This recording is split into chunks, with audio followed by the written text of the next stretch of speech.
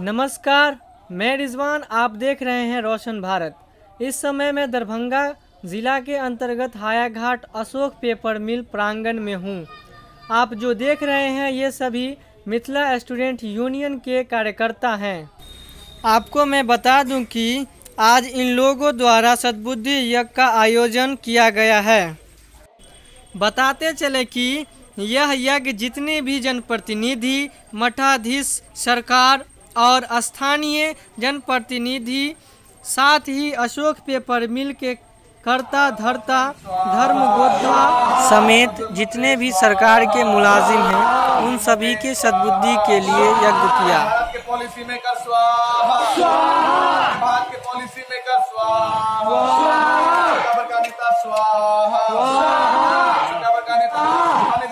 स्वाहा।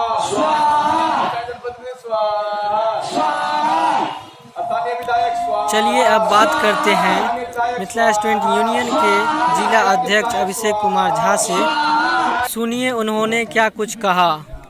जी आप लोगों ने अभी जो यज्ञ किया है ये क्यों किया है और किस लिए किया है? देखिए मिथिला स्टूडेंट यूनियन और अशोक पेपर मिल का संबंध एक अनुनाशय रहा है। पिछले पाँच सालों से हम लोगों ने सड़क पे शिक्षा और स्वास्थ्य रोज़गार की बात किया है। आज से कुछ दिन पहले हम लोगों ने लोकतंत्र का जो पद्धति होता है, उन सारे प्रोपगेंडो को अपनाकर हमने यहाँ के केंद्र सरकार, राज्य सरकार से लेकर केंद्र सरकार तक को चेताने का काम किया था। उसके बावजूद भी, लोकतंत्र की पद्धति को अपनाने के बावजूद भी हम लोगों के बहुपचित मांगों पे आज तक कोई सकारात्मक पहल नहीं हो सका।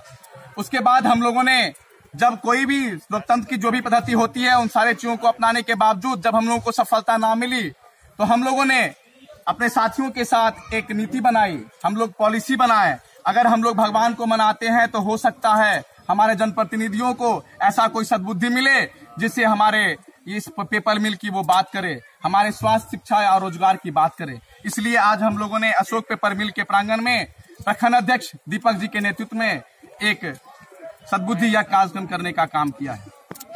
हमर सबके क्रांतिकारी साथी दीपक जी, आई जे ई करे के यज्ञ करे के पीछे की उद्देश्य रहे और आवे वाला समय में यज्ञ के बाद हमर सबके की एजेंडा रहते अशोक पेपर मिल पर एक सकारात्मक पहल हो सके और अशोक अशोक पेपर मिल के बात करके जनप्रतिनिधि और करके स्थानीय नेता करे।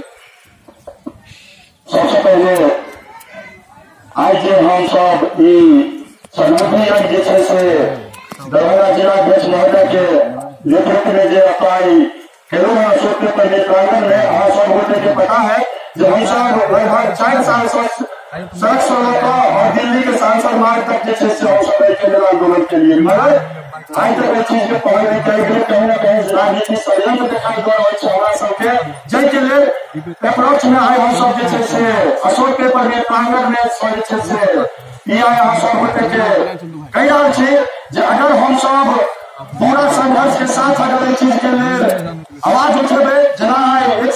आइ एक समय है कि एक टा लड़का आवाज़ उठेलकै एमएसयू के जे अशोक पेपर में है, या तो पेपर में या एहि के जगह पर मतलब अगर रोज़गार के ऑप्शन पाँच सौ तो क्रम में हम सबसे संघर्ष हैं, और आगे अगर जे छै से युवा के बाद अगर हमरा सबके सरकार के तक अगर नहीं अगर नहीं सुनता जे विधायक जी या सांसद जी होय या बिहार के मुख्यमंत्री होय या देश के प्रधानमंत्री हो ठीक है?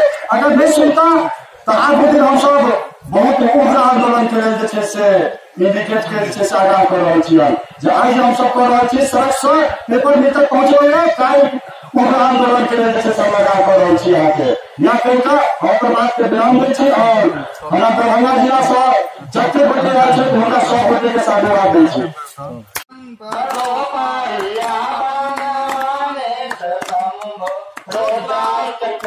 ये